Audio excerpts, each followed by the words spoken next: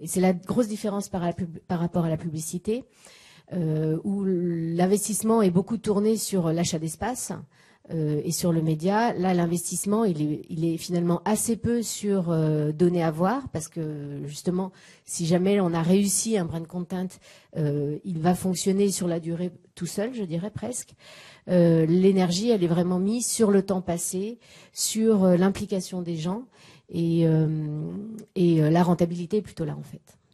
Euh, et, qu'est-ce que ça signale en fait? Ça, ça signale en fait que c'est des marques qui élargissent leur domaine de compétences en fait. C'est des marques qui deviennent de plus en plus larges. Alors c'est des problématiques assez classiques d'extension de marque. Hein. C'est on va chercher le cœur de la marque pour aller plus loin. Pour, on va essayer de projeter la marque dans un nouvel univers. Et le branded content, il fait ça. Il oblige les marques à chercher quelque part dans leurs racines ce qu'elles ont de plus unique et de plus intéressant pour le projeter sur un nouvel univers.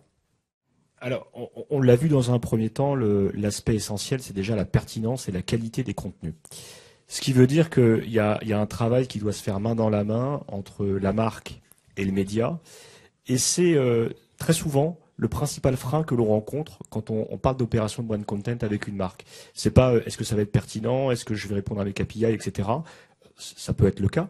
Mais c'est aussi, euh, ça va être time consuming, est-ce que j'ai l'expertise en interne? Euh, Bref, ça va être un projet qui va être très prenant.